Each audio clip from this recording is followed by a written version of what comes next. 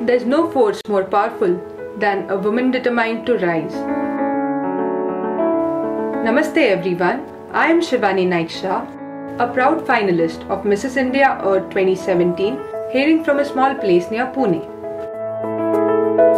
I work as an advisor to the Government of India for revolutionary initiatives contributing to our country's progress, like Make in India and Swachh Bharat. I love to support causes related to nature, women empowerment, and children. Blessed with supportive families, I am encouraged to pursue my dreams wholeheartedly.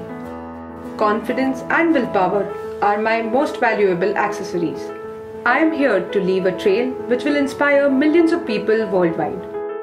I am grateful to Ritika ma'am, Vinay sir, and the teams of Mrs. India Earth and HCWA for giving me this wonderful opportunity. Thank you, everyone.